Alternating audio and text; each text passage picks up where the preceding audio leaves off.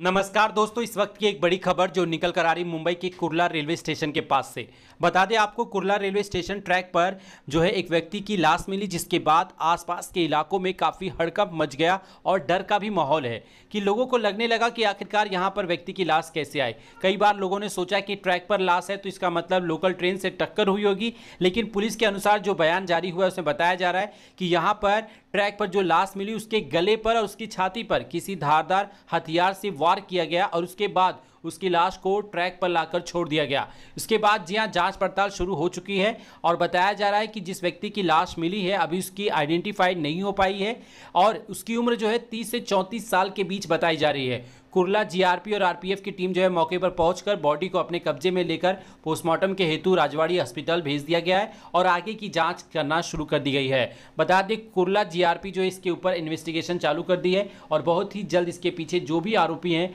वो सलाखों के पीछे होंगे। आज के लिए इतना ही। चैनल पर नया है तो चैनल को सब्सक्राइब करके बेलाइकन